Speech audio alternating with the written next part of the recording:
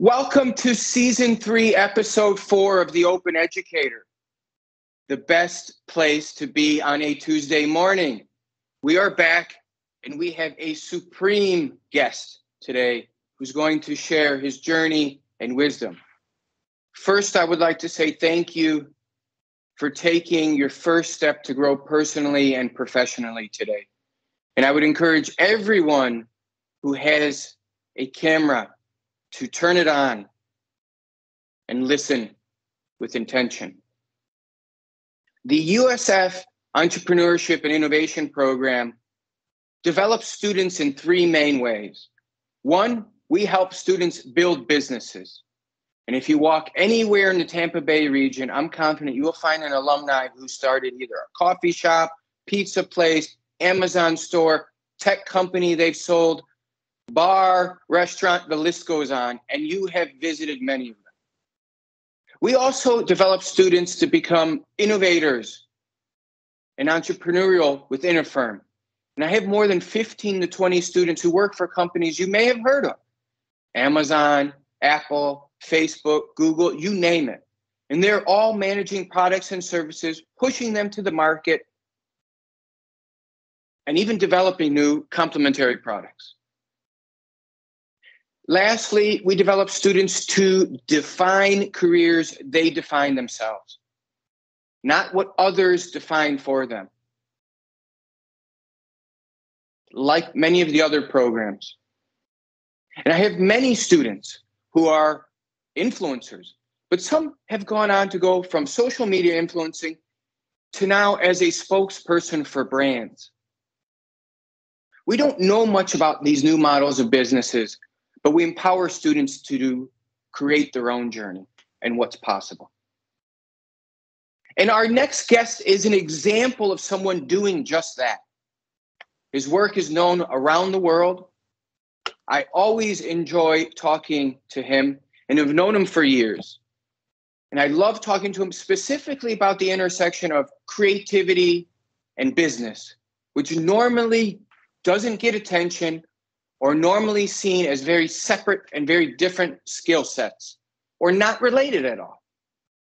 He has paved his own path, left a trail of breadcrumbs for others to follow, used many of the same concepts that we discuss in and out of our classes and in and out every week on the Open Educator.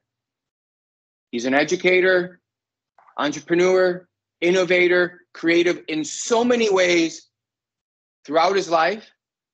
And our next guest is here to share his journey and wisdom. Please give a warm welcome to creator of Jenny LeClue, Joe Russ. Joe, Thank we you. give a big round of applause while we have our mics on, but in sign language, Sure. it's it's this, waving our hands like this. So welcome, Hello, Joe. hello. Thank you for for joining us on Tuesday morning. Where does this cast find you, and can you bring us up to speed on what you've been working on? Uh, I'm not too far from you all. I'm in Sarasota, Florida, so like an hour's drive south. And uh, yeah, I'm excited to talk with you. Um, and I was going to share, right, just a little bit of kind of my background before we we talked a little more. Um, can I just share the screen? Because then it's easier, I guess. Can you see that? My keynote Yes, window. yes. Yeah, so my name is Joe Russ. I'm an artist and entrepreneur. Um, who am I? Uh, basically, uh, I've spent my whole life as an illustrator, uh, artist, and now I'm a writer, game designer, marketer, and business dude uh, because I'm an indie game developer. Um, I own my own company, Mografi, which I've run for almost 20 years now. Um, mostly had been doing motion design for agencies and commercials, and now we're doing uh, we're doing video games. Uh, and as per my silly uh, portrait, I like tiny things, cookies, and our puppy. Um, so my professional background, uh, my experience before, uh, as part of running my own business, but before making games myself, um, is I worked in New York for about 10 years as a freelance creative director and motion designer.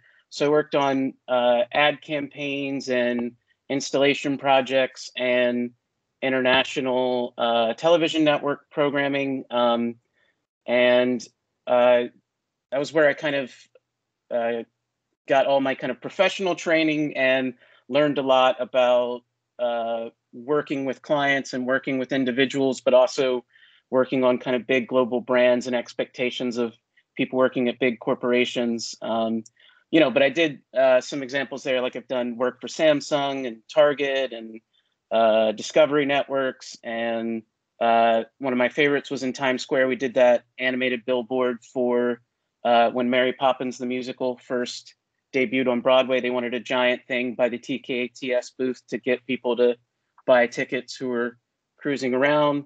And of course, uh, at one point I turned 30 and I wanted to teach. I wanted to try my hand in that. So we moved to Florida, where I uh, taught motion design at Ringling College. I did that for a year. Uh, they didn't want to pay me a reasonable salary. So I figured if I'm not going to be making any money, I might as well do one of my dream projects right now. So I quit that job and I took a leap into the unknown, which is where I made our first kind of big game, which is Jenny LeClue Detectivú. And it's a, uh, for people who don't play games, it's a sort of narrative game. Uh, it's a sort of detective mystery, a little bit inspired by like a Nancy Drew kind of stories, um, or like Veronica Mars or something. Um, and uh, I have the trailer. I guess we're not going to be able to hear the sound, but we will be able to see the video, we think. um, so I can just play sort of, this is the release trailer for the Nintendo Switch. Oh, wait. I think I have to switch screens, maybe? Hold on. Wait for it. Uh, can y'all see? Nope. Hold on.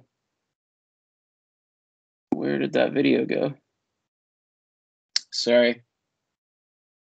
It's because it's in full screen, isn't it? All right. Oh my gosh. Microsoft Teams. Uh, can you see the, that screen? Yes, we see it. Okay. All right. Sheesh. All right.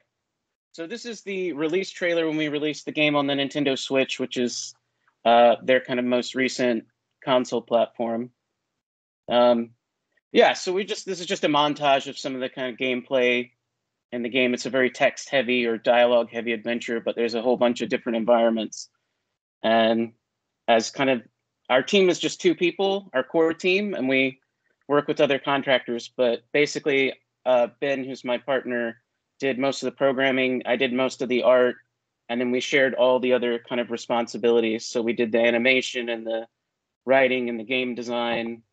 Um, and you get sort of a rough idea there of uh, what the game might look like. We wanted it to feel like an animated TV show, like a kind of interactive story you could play, if that makes sense.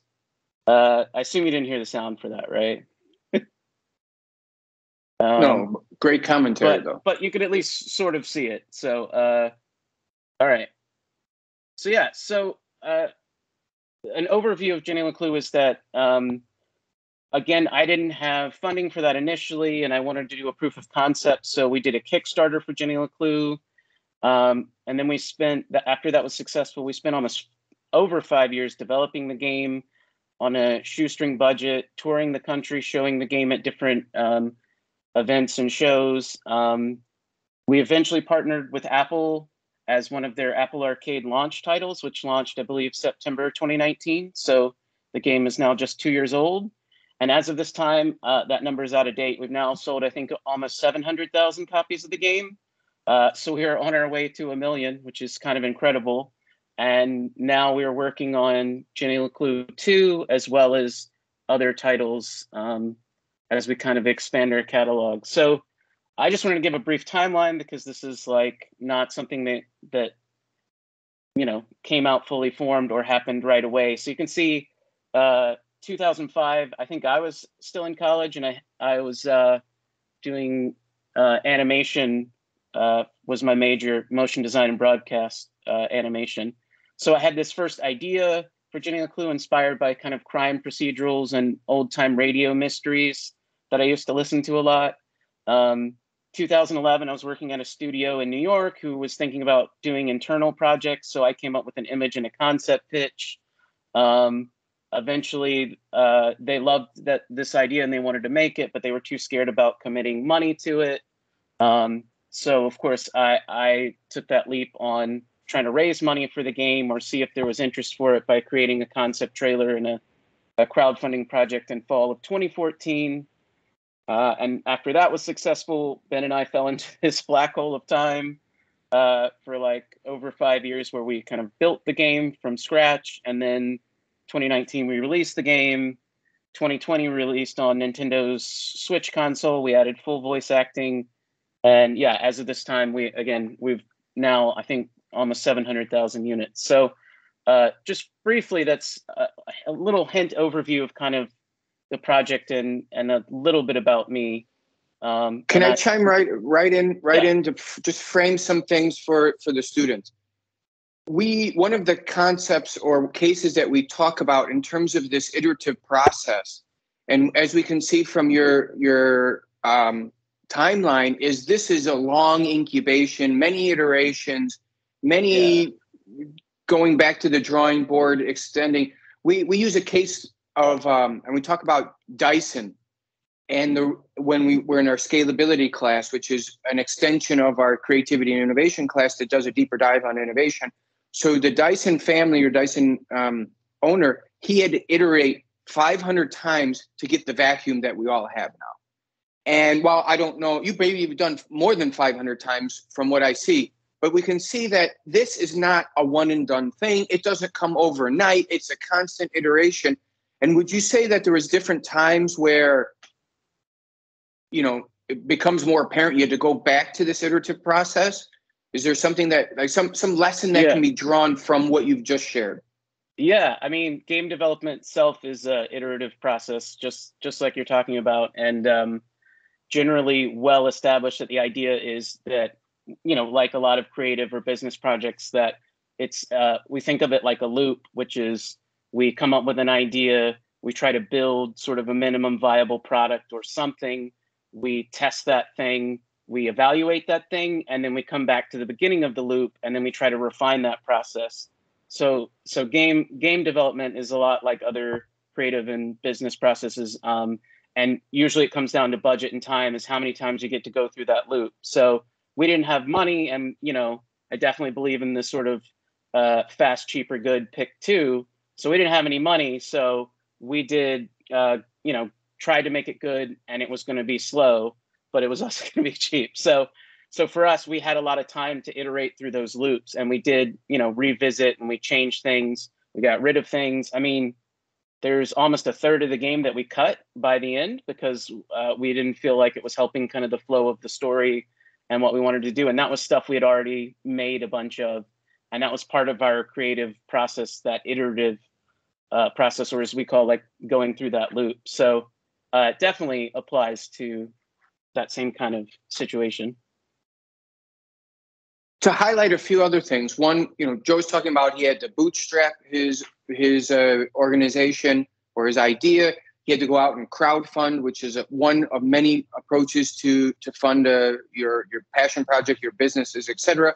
The other idea is this: what he talks about iterative process, or what I'd say, you know, he first pitched the idea. First of all, we talk about pitching all the time. This is why video and your videos are so important that you're creating in your in our classes, is because regardless if you're pitching an idea per se, which some of you are, depending what class you're in with me, you have to get good at that. And many times in the near future will, you know, pr- predominantly be through video, through virtual, through these technologies that we're utilizing, and you have to be able to execute that. But also, these are forms of learning. And when we talk about the scalability class, we constantly talk about that scalability is constantly learning, knowing what the market wants, right? Joe mentioned he pitched his first idea internally. They didn't want to take the risk, so he had to figure out different avenues to make this happen. Later on, he said we had to cut out some of the project. Uh, I don't know if this was because of just that the it wasn't helping the narrative, but maybe there was already some sort of feel that the, the audience or the market was already liking what was going on and that there was some positive uh, feedback from that.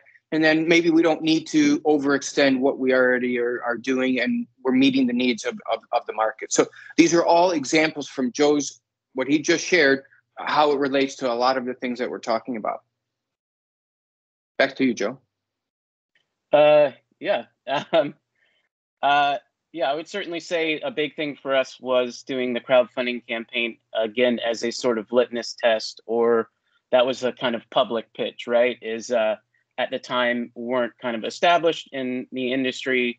And so now we have a lot more connections and it's a lot easier to um, to make connections and, and like some of our our uh, future projects, we're talking to investors and other game publishers about supporting the project so that we, if we don't want to, don't have to necessarily do crowdfunding. But this was a case where it was like, yeah, we're going to use the public as kind of a guide and see if we can make uh, a concept pitch to them and appeal to them for you know everyone's pocket change which you know if you get enough people is enough to kind of bootstrap your project so that is what we did as part of our process and now we are you know part of the uh, the process of negotiating with apple was pitching our game to them as well as showing uh, you know that we have uh, that we're not just creative but that we're also able to deliver on our promises on schedule on budget and um, that's helped us going forward be able to have better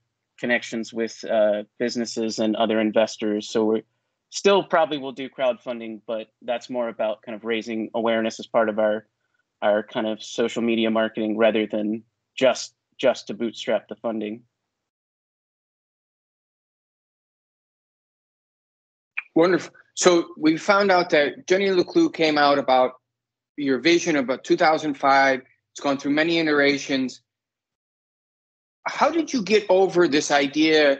A lot of my students, and many, I think it's very common, to get over that hurdle of fear and rejection. You know, you put yourself out there a few times in just that, that timeline. How did you get over that? Because that's always a big hurdle and one of the biggest questions that come out with people who are trying to push whatever, create a project or business or just idea forward. Yeah, uh, I think you know the more, the more you uh, the more you put out there and the more you get rejected, I guess the easier it becomes. I would say if you're if you're uh, you know uh, putting your best foot forward and um, you know, and I like to try to evaluate after a project is done whether it's been successful on its own terms or not, and then uh, yeah, I think for me it's just making making a lot of work and uh, putting out putting out a lot of things. So it's uh, yeah, I think rejection is just part of the process. I don't know. I don't have any great great advice for that other than like you know keep going and like regroup because I've definitely had tons of stuff you know that's never lots of ideas and lots of projects that have never come to fruition or been rejected or uh, you know uh, we had Apple interested in another another game, and we spent almost six months talking to them about it. And then at the last minute, they basically decided they didn't want to sign on the dotted line, even though they really loved the project. So, you know, that was a ton of time and work and energy. Um, and and it seemed like they even wanted to do it, but it was kind of some kind of higher level executive decision, you know, who wasn't involved at all until the end. Um, and you know, it's just par for the course. I mean, for me, it's just about being a train that's like always moving, kind of knowing what you want to do, and then you know, reevaluate when we have failures and decide where we want to go next. But yeah, I mean, that's a tough one. It's different for everybody, right? Maybe I can ask to stop unsharing because I ha- want to get down to the nitty gritty um, and relate to some of the concepts that we're talking. And right now, if if we can unshare, are you able to unshare the that screen? Because then I can get oh, to sure. see you and, and and we can have more nuanced discussion. Wonderful. Sure, sure. Thank you. So my students start to explore a bit more of their creativity through our book, this uh, creative thinking book that's broken down into a few different pillars. And we talk about the creative environment being very important. And you are clearly a creative person and a creative genius in many ways. but let's pretend you're not. Okay. Okay. what what does your creative environment look like, and and how does it influence your ability to be creative or innovative, or or to execute on your promises as, as you mentioned? Yeah, I mean, I, again, I don't have anything fancy. I just work out of a spare bedroom in our house, so um, my creative environment is like a kid's bedroom. Um, uh, and you know, for me, the big part of the creative environment is creating a consistent, uh, stable s- space that I can do regular and consistent work. Um, uh, and I think about a big part of the creative environment for me is creating uh, a, that space and that time and that ability to focus um, regularly. Uh, you know, thinking about, uh, I, you know, some people talk about having like uh, writer's block and uh, creative block and all of these things, and I'm and I think a lot of that is that whatever kind of work you do, uh, you're not.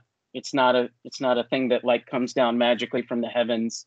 I believe in putting in the work. So for me, it's like the more time and focused space you have to do work, the more likely you are to do great work. Um, so if I can create a routine and almost like um, uh, almost like a ritual, a daily ritual for work. Uh, I don't have a better way to say it, but it makes it easier and easier to get into that flow, and it makes it easier and easier to do the work that's important to me or to whoever is doing that, and it increases the chance that I make something good. Like like Stephen King is a writer who uh, just writes constantly, and he writes every day, and it may only be for uh, an hour or two a day, but he he has a really strong schedule and he writes consistently and I remember I was inspired by uh, Ginny, uh, Jerry Seinfeld, sorry, uh, who at one point started doing, uh, he had a calendar thing and he started uh, telling himself to write jokes every single day.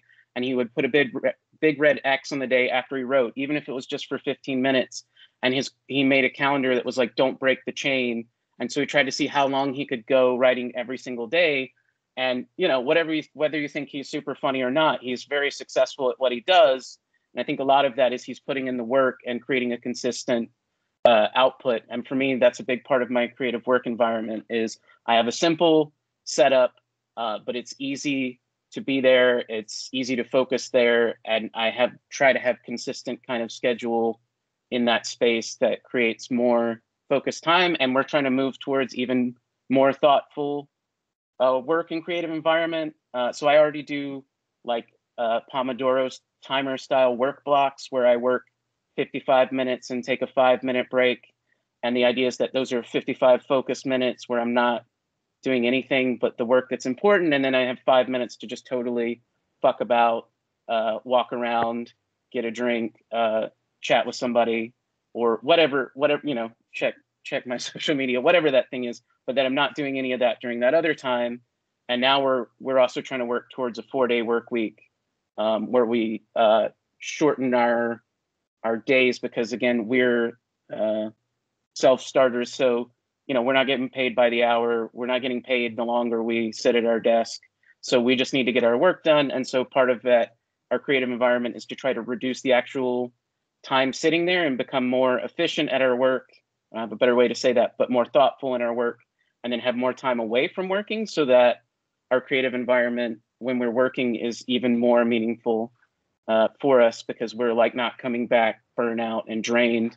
Like when we were working on Jenny LeClue, there were times we definitely worked six and seven day uh, weeks for I don't know six six or seven months, and it's like we want to you know establish a better creative process here. So if we're doing a sprint and we need to do that, we're coming in more fresh, and so we're trying to also further balance kind of our I don't like saying work life balance because I think that's kind of a, a nonsense thing, but uh, uh, like our creative, uh, our ability to do focus work, I think, and ha- come back fresh to that.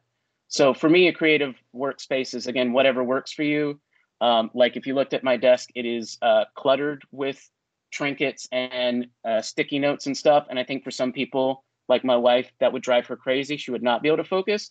But I kind of thrive in the the trash of my desk so like for me that's a that's a great space to be and focus on my work but you know it's individual for everyone but i'm definitely big on the ritual aspects of a creative environment of creating that routine in that space that's easier and easier to get into and faster to get into so that you can create a habit of doing whatever that work is that you want to do. Joe, I'm, that was a great visual. I'm trying to envision you working in this trashful desk. I don't know if there's a used I mean, gum, kind of, old food, uh, some ashtrays. Yeah. Who knows what's going? on? yeah, uh, yeah. But, sometimes it literally is like a trash pile, but uh, I don't know. I just com- comforted in my nest of junk. But uh, uh, I, and I like yeah, that too. Maybe, maybe it's like it helps me focus since my work is on the screen or in my sketchbook. That like I'm just trying to like put on blinders and tune out everything else. So the work is like the relief from that. I don't know. Well, one thing that I want to highlight is we talk about the four pillars of creative thinking in my class the creative person, the creative environment, the creative process, creative products and services.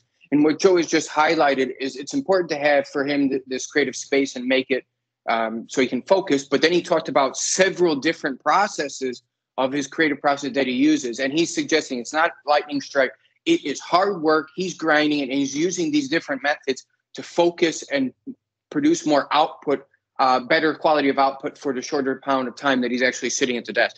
So there, this is a, a call to action that says it's not about you have gifts or don't gifts. Of course, some are uh, gifted in certain ways than others, but it's about the hard work that helps you produce that work. So, but that goes for creative projects, that goes for your homework, that goes for interviews that you're preparing for, or anything to any type of project that you're working on. I'd like to take another step back because we seem to put it like a uh, we we hide it behind the maybe your junk pile on your desk, but the reality is, you know, you went to art school, you've gone and taught artists and creatives, and you know that certainly that's what you've been built as your expertise. However, you've also built a successful business, and you didn't go to business school maybe you went to a state school and you had to take something i don't know.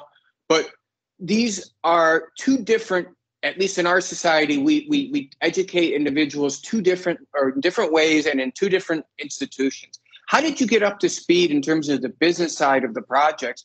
And maybe you can share some lessons because this is the from what i know the fortitude of you looking forward to know what you need to do now or in the past to be successful in the future and these are wonderful stories that Joe. Joe, can you share a bit about how you built your business Acuum up uh, sure. from the beginning?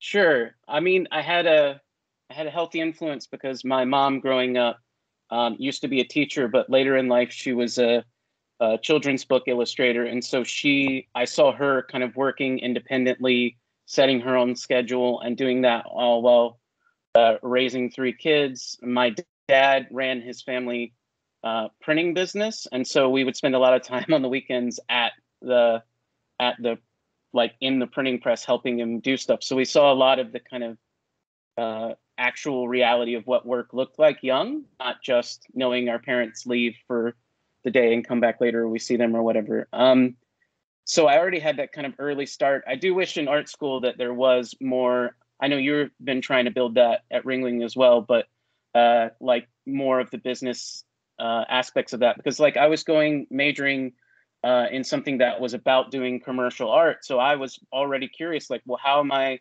And you know, you all probably have bigger student loan debt than I, but I was coming out of school with like almost 40 grand in student loan debt. And i'm like i don't have a job. I don't know what i'm doing. I don't have a place to live. Like how like how am i going to get started in this when i'm not some established uh, genius artist? And you know, so I was already curious about that, and I managed to find a job through a job fair at the school, which I definitely went to because I was like stressed out, like how am I going to pay all this debt off? And I went to a business, uh, to a company in Austin, Texas, and it was uh, this guy Ron Pippin, who had worked for an agency, a huge agency in Austin for almost 20 years, and was finally starting his own business and it appealed a lot to me because I've always been interested in kind of the entrepreneurial aspects of that. And it was just him and like his best friend who worked at like a car dealership who was like going to be the producer and he was going to do all the creative direction stuff and bring clients on. And so for me, that was exciting because I got to learn with them. It was a less intense environment than going straight to like LA or New York, working in a, a big agency or a studio with like 40 people or something And what was really great for me is they literally they had opened maybe a year before, but I just always was really hungry and curious about what I wasn't good at or what I didn't know at all. I mean, I was, you know, like 22, so I wasn't good at everything at most things. But uh, you know, like I literally would ask them if I could sit in on their business meetings, on client calls, um, if I could go with them to pitches, which are things that I, you know, I was just hired to be an animator and a graphic designer. So in a bigger company, no, you know, you wouldn't even have the opportunity to do that or ask. But they were like, "Oh, this guy's interested and excited about this. Of course, you can come with us. You know, don't say anything stupid. Don't fuck this up for us." But you know, and for me, that was part of being hungry and interested in that, and just seeing, you know, this guy has 20 years experience doing this, uh, you know, at a professional level. See how a just he interacts with people, how he does pitches, how they win business, and like you know i'm sure they they had some flaws in their process but you know coming out of school where i didn't have any proper kind of business uh, education opportunities from art school that was really informative for me. And then um, you know i just always stayed that way. So I, I moved to new york and i was freelancing at different boutique studios doing motion design. So those are like smaller studios that do the work for creative agencies. So they'll like win a big, you know, billion dollar campaign. And then they have a whole bunch of different studios, you know, create this ad campaign or this commercial because they don't necessarily have those capacities in house. And a lot of the best talent is at these smaller studios. So I went and worked for a guy who who used to do a lot of type design stuff at a big company and I was not good at that so I really tried to like lean on him to learn that and follow his business practices and again asked to come with him to any pitches and meetings even if i like wasn't on that project if if there was time and availability or if clients like came into the office i would either try to be in on that meeting to listen and take notes or i would literally just eavesdrop from my desk if i could like overhear them from like the client room. So for me like a big part of that was just being even now is just being really humble and and uh you know try to be a sponge and and learn from people with more experience, even if some of that is negative things like, whoa, I don't want to have client interactions like this. Like, you know, I worked with a producer and they were super way too like accommodating to a client who would just make last minute changes and want all these things that would require so much labor. And so, you know, when I got to do creative directing instead of just being an animator, I would come in and be like, hey, that's really, you know, to the client and be like, hey, that's really exciting. Uh, let's like think about a, a solution because it sounds like you have a problem here, but we don't quite know what the solution is for that yet, instead of just saying yes to everything. So I, I just try to absorb uh, from everyone around me with more experience or different experience and learn from those things both positively and negatively. Um, but just being curious about that because I would see a lot of people were happy to kind of just stay in their lane um, and just do their one thing. And I'm like, some of those people are amazingly talented at what they do, but a lot of my friends and colleagues are artists. And so they're really afraid of the business aspect. So I had worked with people who were more talented or more seasoned than I, but I definitely was making more money than them because I was not afraid to negotiate. I wasn't afraid to like, even if I was like nervous and fearful of a negotiation or asking for what seemed like a ton of money, it's going, hey, I can sit down and I can rationalize what is the value I'm adding uh, what is the biz what is like i mean if they want me to keep working for them i must be making them money or they're not going to ask me back they're not going to pay me in this. So like what value am i providing? What's that worth? And how do i negotiate that with them? So you know i had friends who definitely much better faster artists than i who were making like half of what i was making in a day because they just were afraid of that and they hadn't been hungry about kind of learning those things or getting in those things. And i know you all are learning this business stuff. So you're already in that. But even then, it's like, yeah, trying to be a sponge and be open to learn from people. Even if you don't like those people, there's definitely people I've worked with who I do not like at all. But I was like, oh, there's so much to learn from them and, and how they run their business or like how they interact with clients uh, and all of that. And, and for me, that's just a big part of, you know, never thinking I'm I'm the biggest fish in, in the pond or that I know everything. Uh, you know, what's what's the saying is just always be kind of the dumbest one in the room. I think I think that's a good one, uh, as long as you're trying to absorb all of that knowledge. Or just listening. Yeah, listening. you learn a, a lot more a by listening. on my desk here. Yeah, sorry. I literally have a card on my desk that says "Stop talking." Uh, I don't know if you can see it, but uh, yeah, I definitely have that problem of talking too much when I need to be listening. So it's a good one. I'd, I'd like to prime our students after I ask Joe a couple more questions or, eh, you know, what questions you guys have? I know you guys are hungry. All my students or many of my students have their side hustles going. Some have their own businesses. Some are doing freelance. Some are going to Fiverr. Some are have their own Amazon uh, warehouse. Some have their own business, franchise, pizza franchise, shoe uh, fading business. Uh, the list goes on and on, and then maybe even social media, of course, animation and, and other things. But um, how did what soft skills did you think helped you grow your business the most? Because we yeah. in business school we talk about technical. I assume animation and motion design is, is largely technical, but there's all these other soft skills that we have as humans. I mean, they're also humanistic skills. What soft skills do you yeah. think have helped you? Um, I definitely think uh, yeah, being able to work with people is, is, such an undervalued thing and can both be really easy or really hard. Uh, when I'm looking to hire people, I would, uh, hundred times out of a hundred, I would hire the person who is less talented or less fast, but is easier to work with, more reliable, and like has a good attitude. And it's like because when you're just when you're like in the shit together, like you don't have time to deal with egos and uh, you know whatever it is you're doing. And i think uh, a big thing for me is a lot of my work is like i was again not the most talented there not the fastest at what i was doing but i was reliable. I was like open to feedback. I like work with clients and communicate well and also communicate when something was like unrealistic. If someone was like can you do this thing in two hours? And i'd be like no we can't do that. Like maybe I can do something in a, like a full day or whatever. Um, but I think, yeah, I think that's one of those kind of just uh, seems really simple and obvious, but there's lots of people where it's like every other person you work with is like a hot shot, and it's like, oh, I'm not working with you again because your work is great, but like that only works for you alone. It doesn't work in a group. So if you're ever working with other people, I think uh, the biggest soft skill is just being able to like get along with people, have good verbal written communication skills. Like it's not it's not exciting sounding, but just those kind of and you know just and just being reasonable uh, as a person to work with.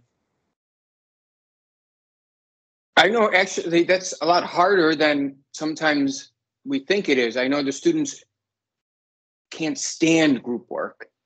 And that's partly because I, we all have this experience. Working with people is not necessarily easy, but yeah. it's a lot of what Joe is mentioning. Putting yourself out there, listening, being empathetic, trying to understand if it's the client or any type of student in your group, and realizing there's probably some sort of middle path. But everyone has to be willing to put the effort forth to make that a common ground, a common collaboration, yeah. some sort of common and shared language. Uh, and that's why in my a few of my classes, you have to create a personal charter or a group charter, which Joe, I'm sure you guys are familiar with, like a form of a project management tool. So, what are the rules of engagement that we all have? Because if people have different expectations or not following through what they're they promised, how do we deal with that? How do we get over that? Because these are different mechanisms. Because working with people can be difficult. Yeah, and that's definitely where I always work with new people almost always from a recommendation and then almost 100% of the time on a trial basis where we try we dip our toes in the water together because for me i'm like if i see your work i'm going to know instantly if like you're going to be a good fit in that way or not but we need to actually work together to figure out if we can you know it's it's like being in a relationship. It's like if we can't be roommates like we can't work together because some of what we do is going to get stressful even though at the end of the day we are not you know brain surgeons or rocket scientists, but like that stuff can get stressful, and you want people who make you feel supported and that you all can kind of do these things together and not that you're like fighting each other the whole time. So yeah, a big thing for me is always when hiring new people is just work on something small together to see how the communication and the the creative process works and whether that person is like reasonable or not or that like we're a good fit. Uh i mean you know it's like dating. It's like are we a good profile match? And like do we get along? Can we laugh about the hard stuff and then you know focus on on the good stuff? So uh yeah yeah i think that's a bit i think that's just a big one. Um and i definitely always also like the idea of when you're you know working in teams is uh you know, definitely uh, giving people praise and credit where due and, and not making it about you when possible. Um, unless it's like the bad things and then it, it's, you know, off putting that from anyone in, individually unless they really fucked up. Uh, but then you just fire them. So I guess it doesn't matter.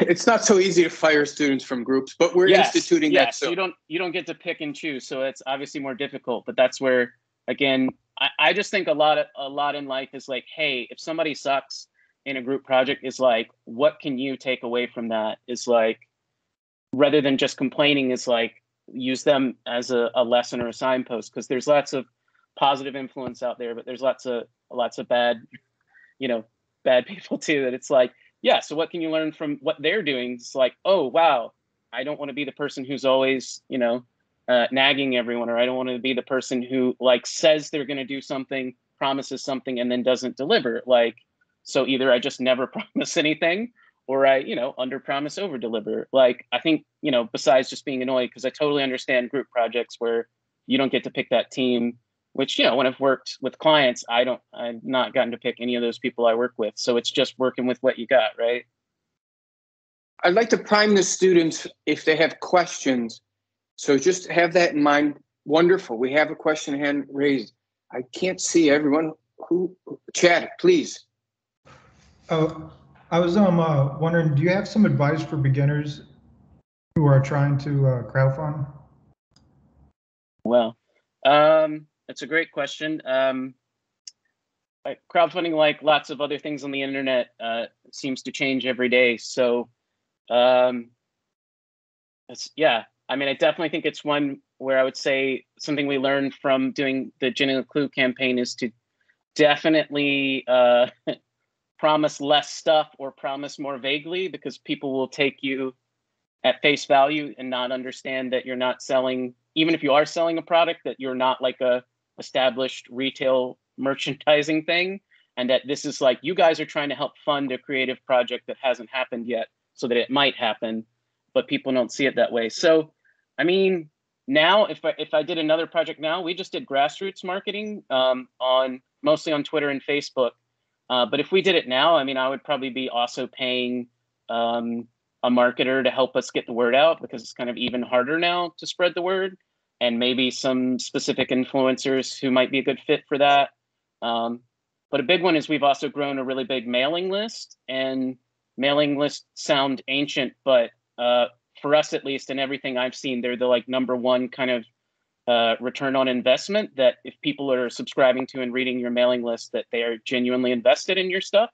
Um, you know, not like a random Amazon buy this purse thing, but uh, like a genuine you're offering them some valuable content for free um, and they want to keep reading that. So uh, yeah so a big one would be start all your kind of social media marketing early if you can and then uh, you know build the best kind of uh, curb appeal to your product because generally you're appealing to consumers whatever whatever the service or product is.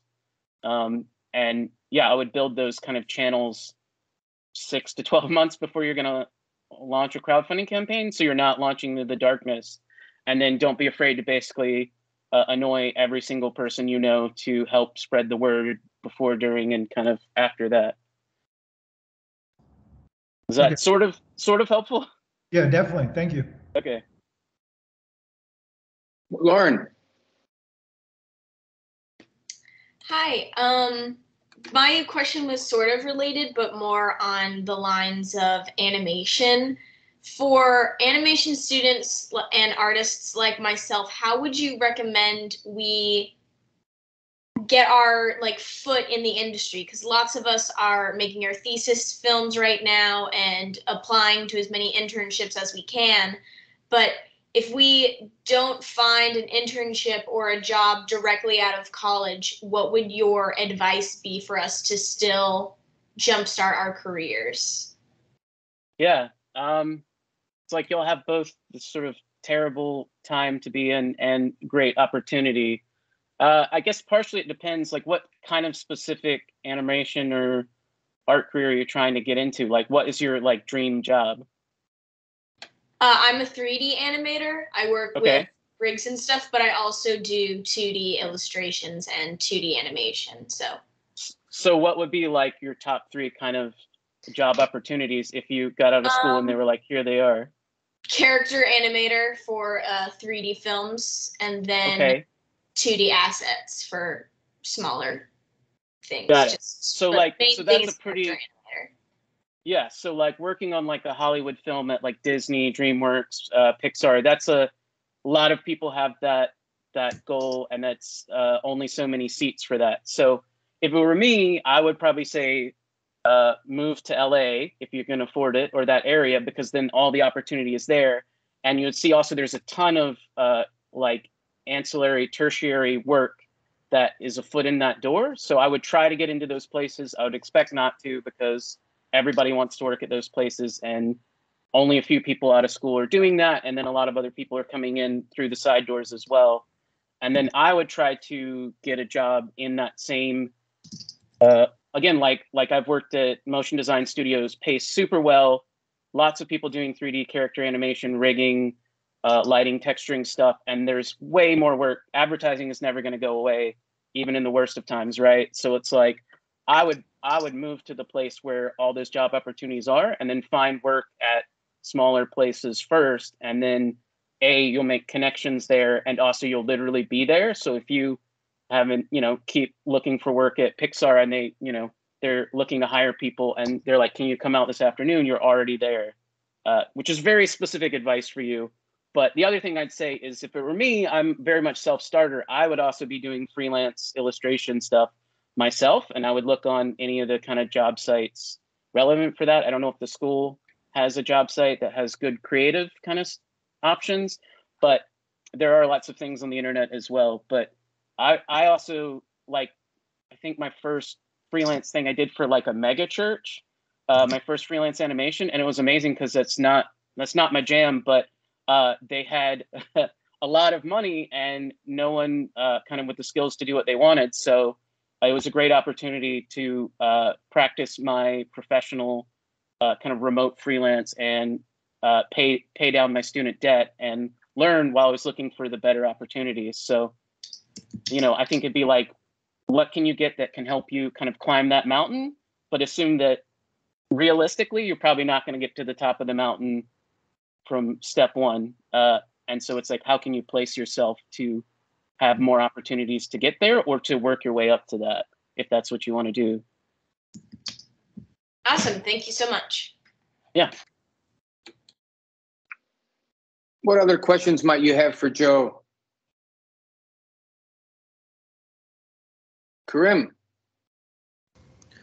Yeah, hey, so I was kind of the same on on the same field as uh, Lauren. So I'm a 3D student animator, and so I was I wanted to ask, so what kind of advice would you kind of give yourself, like back when you were in college, that would have helped you like so much further now that you're here and you're already like um doing a lot of the artwork in the field? Interesting.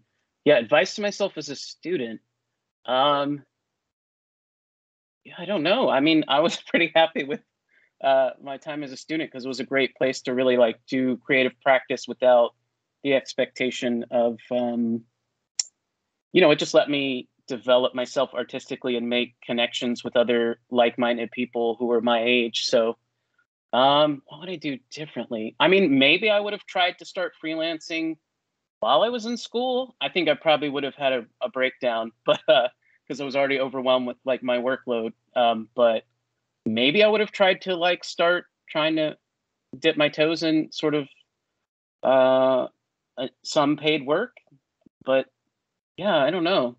I mean, I think for y'all, uh, definitely 100% because you know I went to school uh, almost 20 years ago now. But uh, definitely, if you're not already doing your whole brand thing of whatever your work is that you should be establishing that whether it's like a separate thing from your personal social medias or not but you know having a portfolio having posting uh, interesting stuff on your instagram or twitter or whatever whatever is your go-to platform i definitely have friends now who are established artists and illustrators and animators and get most of their interesting paid work through like people see their stuff on instagram and contact them who are legitimate businesses, not just random people who want free work. Um, so you know, I definitely think establishing and developing that stuff so you already have your own thing and kind of not waiting for a job to come along or something, I think is helpful. But it's hard to say other than that. What I would do differently is just yeah, establishing kind of uh, my own kind of personal brand stuff uh, early. If I was in school now, that I mean, Facebook like appeared while I was in school, so this is all ancient history by comparison. Was that helpful at all? I don't know. No, no, absolutely. Thank you.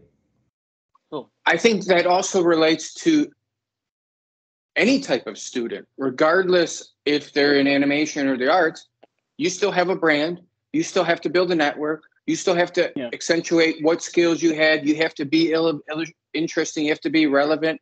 You know, there's many ways to uh, get connected and find jobs, and it's not just through whatever portal through the university or through Yeah. some industry, whatever. It's by making yourself unique and valuable to people. And so I think this is relevant to all students um, Yeah. to a certain extent.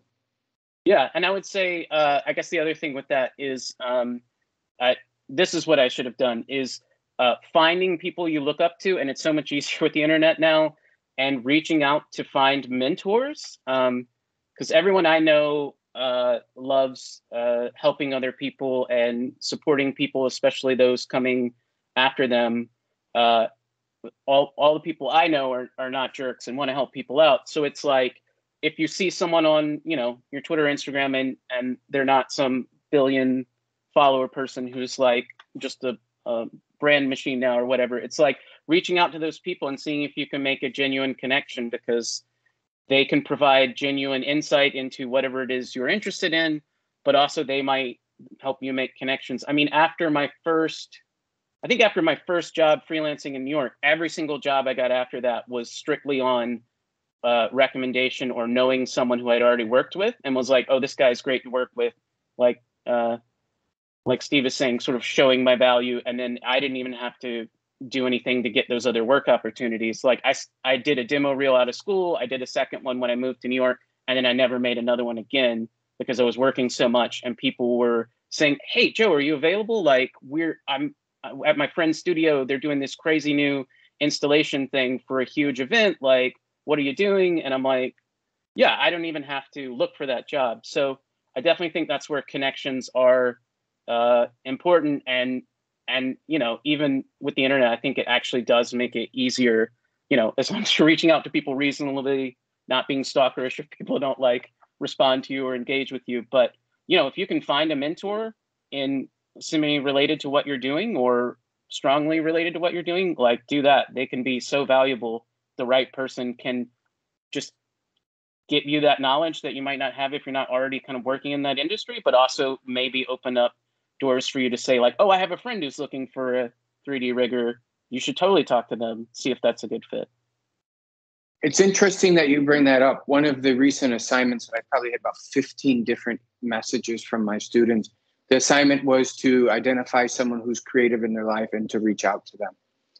And many students came back, well, I don't know this person. I don't know this person. We can start Yeah. seeing why this is built into the programming that I have because it is valuable. It's putting yourself out there, trying to find this genuine, pick people's brains, take them out for virtual coffee, whatever the case may be. These are the things you need to do now to set yourself up for success later. Yeah, yeah. Sure. And you just never know those like loose connections. You never know who's going to actually be super helpful. And so you have to genuinely be invested in people, not just like, I'm using you. I hope you give me a job or something. But like, you never know. I've had so many people that uh, I've just colleagues with or helped out on something random when they had a like a question. And then later they're like, oh, oh, you're looking for an investor for your game? Uh, I know this guy who who actually started up this huge investment fund in Singapore. You should talk to them. They're great. I'll do an intro for you. And then it's like, yeah, I don't know that person at that company. I never even heard of that company until now. But literally now they're putting me on an email and just saying, hey, this is Joe. He's great. You should talk to him.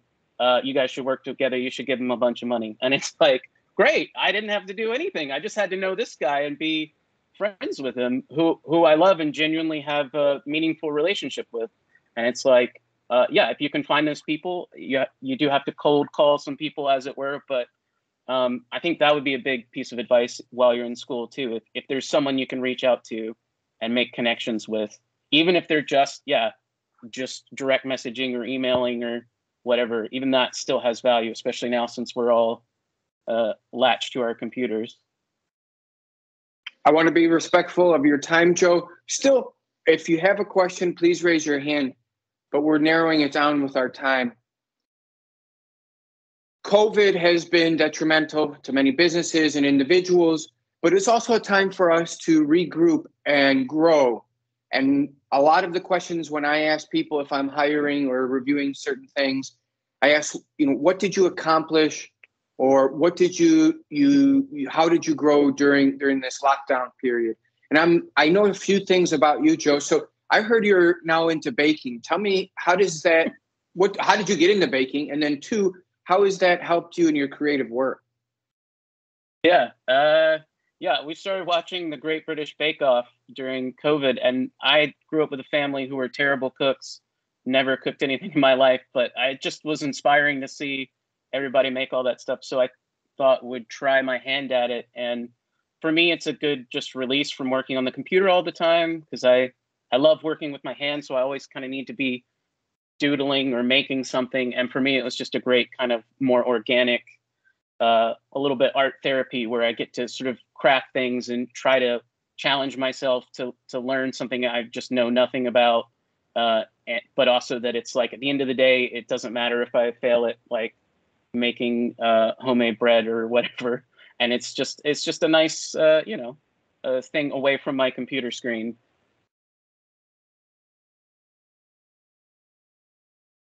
I like it. You know, getting your getting textual with your hands, and I think this goes for not just artists, but also for anyone who's interested in different aspects of, of development or building or or just uh, being in touch with um, uh, different products and materials. In fact, we have a new museum that opened up was all about this uh, similar concept, uh, the, the American Museum of Arts and Crafts movement. And it was this idea that we, through our work with our hands, we do dignified work, but we also become inspired because it's connected to the land, connected how we wanted to live, and, and doesn't far remove or doesn't remove us from uh, from our grounding. We'll say. Yeah. Joe, yeah, Joe, still creative yes. problem solving in that. So Yeah. it's just it's just satisfying to try to make a recipe I've never made before, see it be a disaster, and then try again in a few days and see if I can actually make it decent. and and the proof is really in the pudding eating the pie and eating whatever bake off your cakes that you're making. So you get to have fun at the end. So wonderful. Thanks for sharing that. Joe last question. You had a success with jenny leclue. What's next for jenny? What's your next project? And how do we follow get along continue to engage Uh, yeah, so uh, we are working on Jenny LeClue 2, the sequel. We just started that earlier this month. And again, we're developing some other internal titles that we are, um, some other games that we're talking to uh, potential publishers and investors about, as well as possibly Jenny LeClue becoming an animated series. So we're talking to some uh, studios, uh, uh, a big a big company that I can't name, but uh, we're talking to someone right now about possibly making a, a animated series that might be on a streaming platform. Um, but so that's exciting because we're doing. Uh, I think we've had initial approval from the some executives for that, and so now we'll go into like a development phase where we get to kind of figure out what that'll be. So Jenny is sort of becoming transmedia, which is exciting because I was always envisioned in the game itself it's like Jenny is a character in a in a book that this author character is writing. So it was already kind of this meta thing. So it's exciting to see where that'll go. So we're we're doing a, a bunch of things but still trying to keep um like my goals for our business was to have a sustainable business not a uh a necessarily a growth business. So like for us it's like how can we do these projects but still be involved in the way we want to and not um, burn our runway money on stuff we don't need. So, you know, Jenny LeClue is super successful. I'm still working out of my home office, which is like a child's bedroom. So um, just still still staying humble, like living below our means and and just buying time because I think that's the biggest thing. Of course, is I'm sure, I don't know if y'all talked about it, but obviously of all the things you have, time is the one no one can get more of, um, which is also part of why we're shifting to a four day work week. So always thinking about you know would I rather have a slightly bigger business, maybe a little more money, or would I rather have more time to do what I love, um, but not you know drive around a, a, a Tesla or whatever. So uh, we're doing all these future projects, but trying to create keep a sort of sustainably small business versus scaling up. Which you know, if you're making if you want to make a big uh, corporation, cool, do something that scales up. But I'm I'm more of a believer in small sustainability. So uh, that is what we're focused on: continuing to do what we love and doing it sustainably. How do we stay in contact? What uh, Oh, yeah. Oh, channels yeah. or Um, what do you recommend? Uh, on Twitter, I'm at Mografi underscore Joe. You can follow at Jenny LeClue on Twitter. We're also on Instagram and Facebook, and I don't remember what my handle is there, but uh, yeah, we're on the internet, so you can search Joe Russ or whatever you can, or Jenny LeClue. You can find us. Joe, it's always a pleasure. I'm grateful that you're in my life. I've learned so much from you, and I love our, our banter and how we can share and play off and, and very different backgrounds, but at the same time, uh, I think some sort of common interest of humanity, common interest of the collective, common interest of, of, of mankind and womankind and people and society, I guess. And uh, grateful to have you in my life. Thankful that you are able to spend an hour with us and inspire us. Uh, how about this? I would like to follow up in the near future, hear with how things are going on, and maybe discuss more future opportunities. So again, let's give Joe a big round of applause for for joining us and, and sharing his his time with us. Thanks for having me. Appreciate it. Y'all have a good day. Thank you, Joe.